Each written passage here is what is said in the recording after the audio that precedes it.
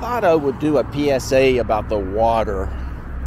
Uh, you might have seen in uh, on X or Facebook or maybe on maybe the news channel making fun of California because they're they've got this program program that's um, called from toilet to tap. So everybody's making fun of, of California for that. But I don't know if Las Vegas just wants to keep it secret. But Las Vegas has been doing, we've been drinking toilet water since the 90s. Long before California had a dream about it. Normally, all the wacko stuff comes from California. Well, this one has been in Las Vegas uh, maybe 94, 95, 96, something like that. Mid mid 90s. It doesn't go straight from the toilet to the tap. Come on, don't be disgusting. What happens in Las Vegas is you flush, it goes to a processing plant, and they strain it. Yeah, they get the peanuts and the corn out. And right away, I know what you're thinking. What are they going to do with the corn? Well, you can go get it. It's free. You got to bring your own bucket. What can I do with that? Well, the nutrients are out of it because uh, a human stomach is very acidic and it's uh, it's more powerful than any cleaning fluid you can buy. So it's real clean. I mean, you know, they, they had to get the stuff around, around it, get off, and you know, pressure wash it. But you can make uh, corn dogs, corn bread, of course, corn fritters, corn chowder. Uh, the list goes on and on and on. Anything you can make with uh, canned corn, you can you can use this instead, and it's free. What about the peanuts? Well, peanut butter, uh, peanut uh, brittle, peanut clusters. And what's ironic about the peanut clusters is when you make the peanut clusters, they end up looking exactly like the peanuts did when they arrived at the processing plant before they were strained if you know what I'm saying. So, anyway, what happens is when visitors come to Las Vegas, they don't drink the tap water.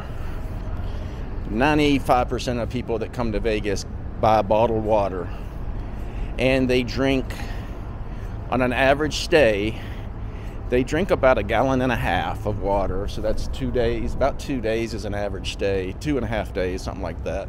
Let's just say it's a gallon and a half. So, like in October, we had five million people uh, come in. That was only in the uh, uh, airport, so there was a lot more from California uh, also that drove, or Arizona, whatever we can get into a whole new thing. Whenever there's a lot of California people coming in, suddenly the water has a lot of uh, Ozempic in it. And that Ozempic stuff is expensive. So if you want to get a little taste of Ozempic, just drink the tap water in Las Vegas.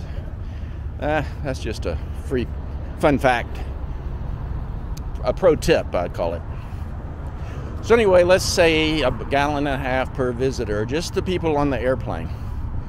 So, that's seven and a half million gallons of water that comes into Las Vegas on the airplanes. And those people, if they take a shower, they lose very little of that water, goes straight down the drain into that processing plant, and then it goes to in the wash. We call it the wash. It's uh, where all the rainwater goes. It's also where all the homeless people sleep, and they have all their garbage in the wash. And whenever it rains, all that water runs past them and all that garbage and ends up in Lake Mead. So then, after the toilet water goes into the processing plant. It goes back into the wash. It goes back into Lake Mead. So then in Lake Mead, it might go through some sand and some silt, and then it goes back into the processing plant a second time, and then it's into the water pipes, and then into the tap water. It's just like a, continuous loop, and that's how it gets filtered. Now, I don't know what kind of harmful chemicals is being used, but you can bet there's a bunch of them. But anyway, if you come to uh, Las Vegas and you're on the airplane and you feel like you need to uh, relieve yourself and you're only an hour out of Las Vegas, can you please hold it and wait till you at least get to the airport so we can use that water? We need it. So you'll be doing your part because otherwise if you do it on the airplane they're just gonna they're gonna unload it over Phoenix or Denver and it's to evaporate before it even hits the ground except for the solids and some of that hits uh, people at the swimming pools and stuff but that's a whole nother documentary. This this documentary is about water. So yeah the toilet to tap thing that's going on in California has been going on here for a long long time. And uh, it works. The water tastes fine. I have to I have to admit, because I'm not going to buy bottled water, but I want you to, so you can load us up on the water. Unless you want some of that uh, Ozempic, then you could, I'm gonna have to drink the tap water. But yeah, that's uh, that's just a fun fact. It's something you should know and you didn't want to know. I figured I'd show you some of Las Vegas while we were talking about uh, toilet water. So I put a capsule in the toilet and I tracked it and wanted to see how long it would take before it came out of my sink. And it's uh, 63 days. So if you come to Las Vegas and you return in 63 days, you're probably drinking your own uh, pee pee or poo poo. It's just a little, and that's more of a fun fact. It's super fun fact. So you'd be just like uh, that scene on uh, Better Call Saul when he was so thirsty he had to drink his uh, own pee. And if in 63 days you'd be doing the same thing. So I hope you like that. I hope you like to know about the water. And I hope you remember not to drink it so that I can have more of it. I'm not buy, I'm not buying that plastic one. And by the way, please buy that uh, Fiji water. I like the I like the looks of that. I feel like if I'm getting tap water, I'm getting some of your Fiji water. That would be good.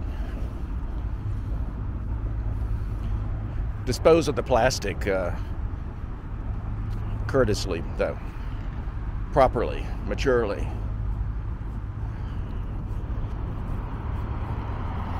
All right, that's all for now. That's at my PSA. I'm gonna do a PSA every uh, every now and then because it's very important subjects.